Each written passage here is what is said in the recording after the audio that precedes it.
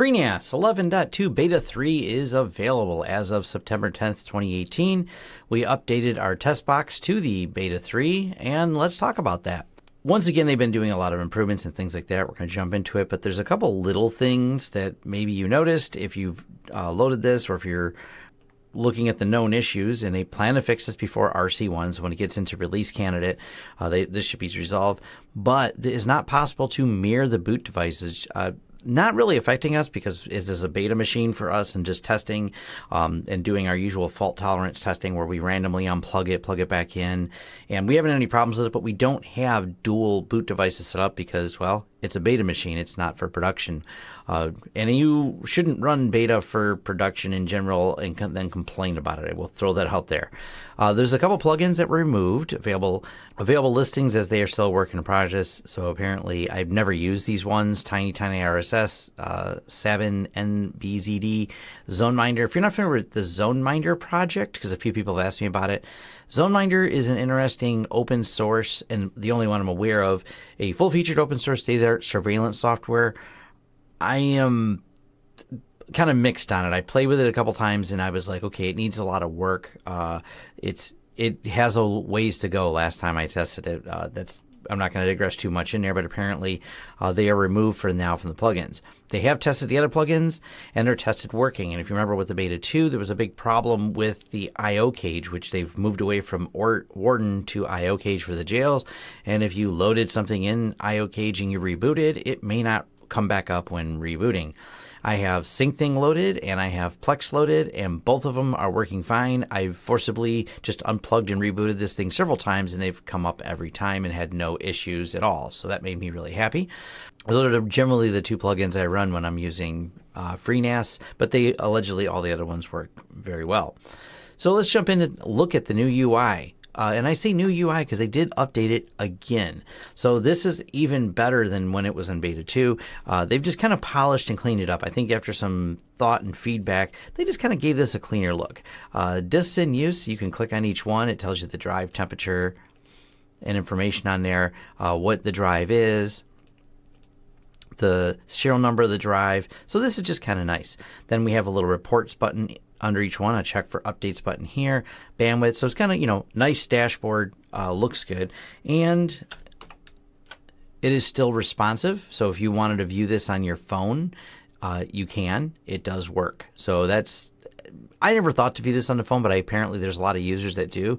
And this is kind of cool, I guess, if you're on your network and you're like, I want to change a setting and I don't feel like getting out my uh, laptop or desktop and logging in. I want to do it on my phone, you can. So they've definitely kept up with the compatibility for the responsive design. I do like the way the menus collapse and things like that. And it helps with that clean interface of keeping everything on the side here. Now, the CPU temperature seems to be working. Everything's just kind of a simple bar graph. The bandwidth right here lets you jump right to the edit interface, check for that. Uh, and then we have the reports. Now, no matter what where you click on reports, it doesn't land you on the corresponding one here. It just brings you to the reports dashboard. Maybe they'll fix that.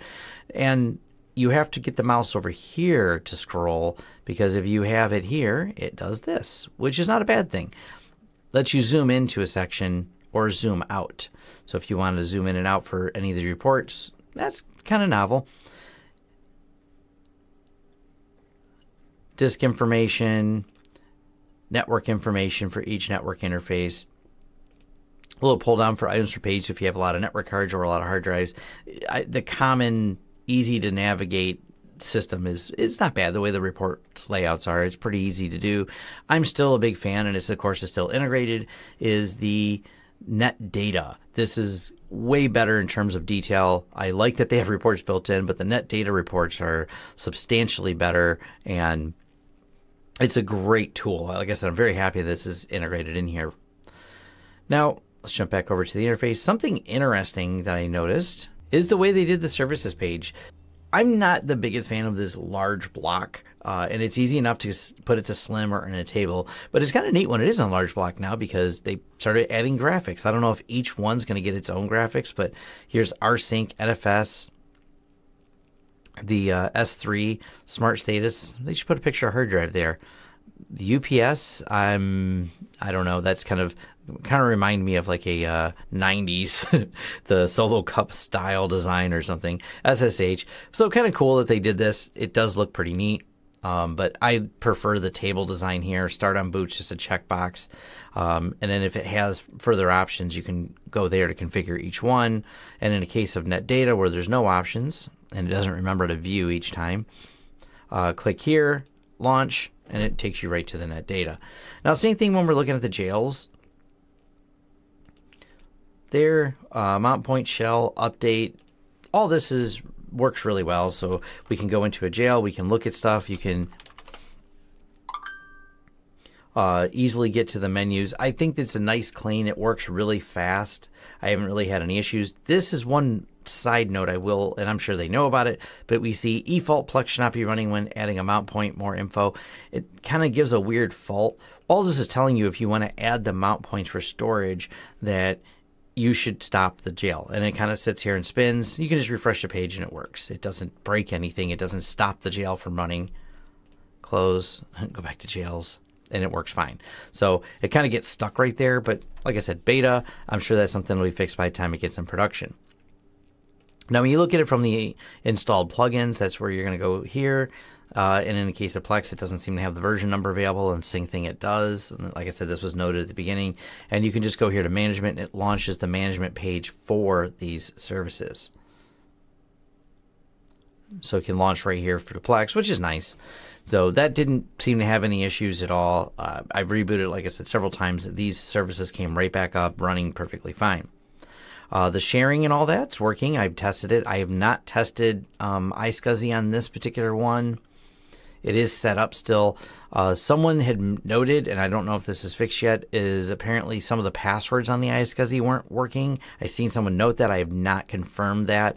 Uh, but the iSCSI seems to be working on this one. I haven't done any extensive testing other than it connects um, and seems to work. So there's not that still is working. Windows SMB. I've not tested Apple, and I have not done any NF, uh, NFS shares on this. I generally don't do anything over NFS anymore. Uh, most everything we do is either iSCSI or Windows SMB sharing. But I will note this, and this goes for both updating to U6 and with the latest beta. Um, people said they couldn't get some things to connect, and I've got a few people that messaged me about it. I've seen people talk about this. I didn't experience this problem. We're on U6 with our system, and we're on Beta 3 here, both connect. But I went ahead and spun up a Windows XP VM, and it does not see it at all. Uh, it will not connect to it. My guess, and I don't remember what version of SMB that is built into Windows XP, but I know it's an old version, probably is why it doesn't work. So apparently, some older devices using old NTLM uh, do have problems. That's an insecure protocol. They have disabled, like NTLM v1 is off by default. So because they've updated to a newer, newer version of SMBD, the Samba server, they just got rid of some of the compatibility for that really old stuff. That's where some there's a few bugs in there that if you absolutely need it, I guess you could turn this back on. I haven't done any testing, but I don't really have any use case for old NTLM, NTLM version 1 authorizations. So I've left it at the default and up to the security on this. Um, so if you're having trouble, this is where you want to start the troubleshooting. If you go, man, my old XP machines won't connect to my new FreeNAS box, this is probably related to why, both on the beta and on the U6. Now, one last thing in here, I have not done a ton of virtual machine testing. I'm going to wait till this goes all the way to release candidate before I dig deeper into the virtual machines. I didn't find them wonderful on 11.1. I find them a little bit buggy. I've had some other people kind of say the same things that they're just not quite ready for prime time. Uh, the virtual machines are more crash resistant apparently in beta 3. I will admit, and I ran the Ubuntu installer here, and this is the uh, system here. When I moved to U3, this one that wasn't booting properly seemed to start booting properly and going into the installer without the error messages I had before. So they're working on it. I'm going to do some testing with it maybe in the beta 3, but I'm probably going to wait till release candidate before I spend any time on it. Um, I just feel though it's an add-on feature. I know they're working hard at it. I'm not trying to disparage developers at all. I just didn't feel like it's ready for prime time, and I don't have any real use case other than loading a quick demo VM.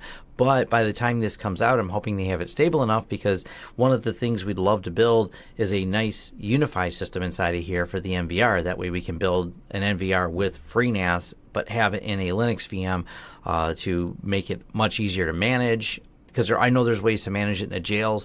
I want to try that in a jail and I want to try it in here and see how well it runs. But obviously, having FreeNAS for the backend storage would be the ideal way to uh, build some of these. And I'm pretty excited to get that build going once this goes at least into re- release candidate. Maybe we'll build one for our own office here uh, and do some testing with it and see how fault tolerant it is. Uh, you know, that's always the, that's always the goal of this is make sure that none of this crashes uh, a lot and comes back from the crashes.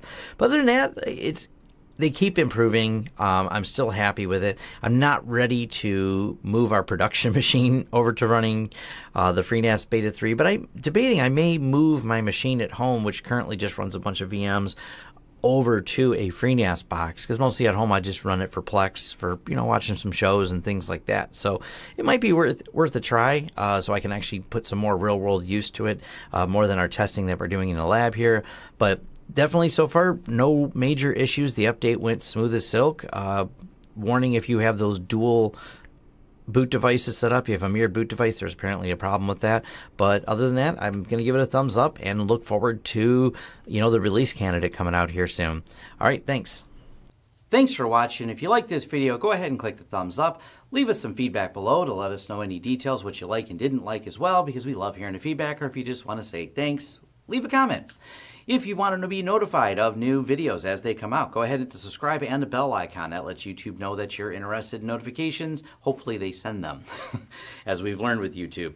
Anyways, if you want to contract us for consulting services, you go ahead and hit lawrencesystems.com and you can reach out to us for all the projects that we can do and help you. We work with a lot of uh, small businesses, IT companies, even some large companies, and you can farm different work out to us or just hire us as a consultant to help design your network. Also, if you want to help the channel in other ways, we have a Patreon. We have affiliate links. You'll find them in the description. You'll also find recommendations to other affiliate links and things you can sign up for on lawrencesystems.com. Once again, thanks for watching, and I'll see you in the next video.